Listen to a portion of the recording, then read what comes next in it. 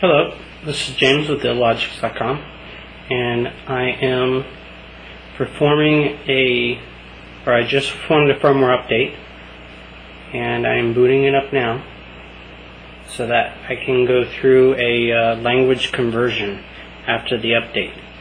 Uh, the updates are in Chinese um, after they're completed, so you have to convert your device back to English. Um, I'm sure in the near future they'll have uh, both an English and a Chinese version. This is the screen calibration uh, tool. Uh, it's the first thing to boot up after doing the update.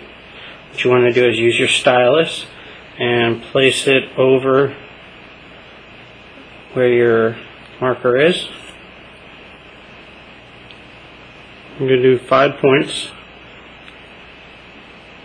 four corners, and a center.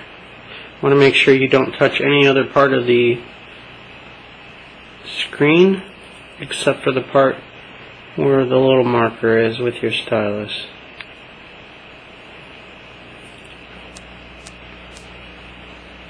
The ROM version I loaded was 2.1. Uh, the screen looks familiar if it's uh, uh, version 2.0. My uh, previous video was actually what I thought was uh, uh, firmware version was 2.0 was actually version 1.0. This is just a 2.0 device. It does not have a metal bezel.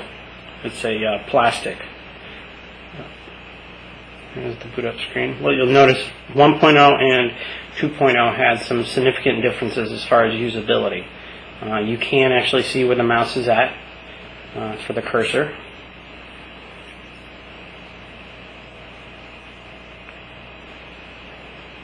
And as you see, it's it's in Chinese, so there will be some issues with uh,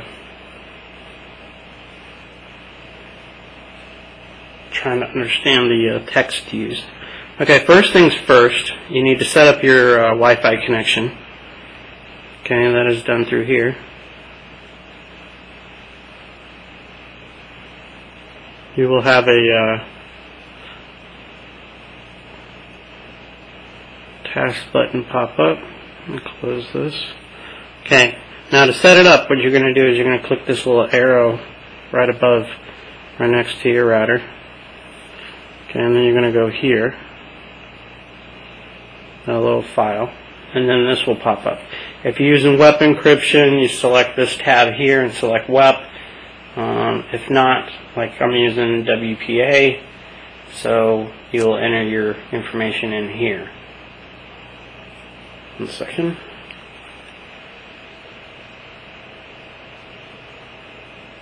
Oh, um, before I enter this, uh, to enter this, what you have to do is you have to click here to put your cursor there, and then you want to hit this little icon here. This is your keyboard icon. And as you'll see, it's a full English keyboard uh, with up and down arrows. Um, after the conversion, um, the up and down and the inner and backspace arrows uh, disappear. So I'm still working on trying to figure out uh, where those are. I assume it's just XML, but I need to find exactly where the code is located. Let me enter my code.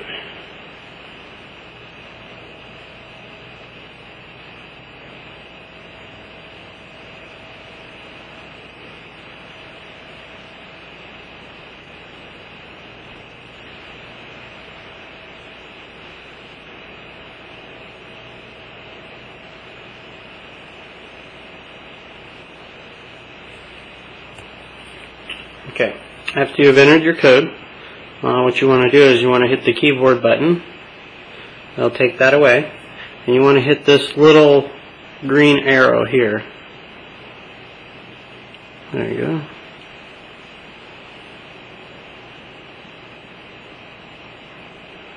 Almost. It's like right on the edge of the screen. That should be it. There we go. Okay, now that that's completed, now we want to check this box here. This is so the next time the device connects, it connects to that device or that router default. and then you want to click connect. Okay, it's making its connection.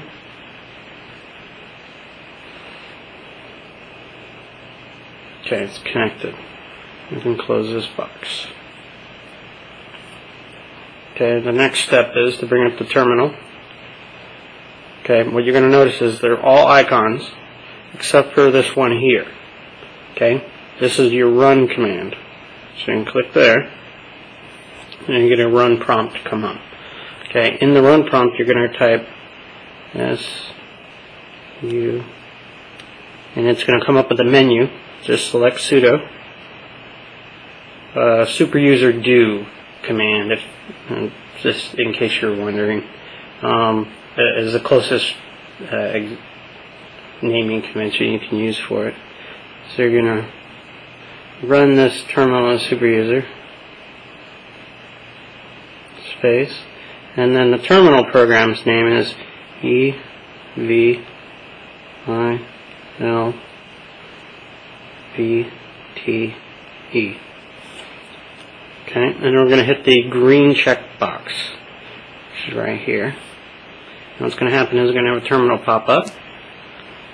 As you can see, it runs Mojo.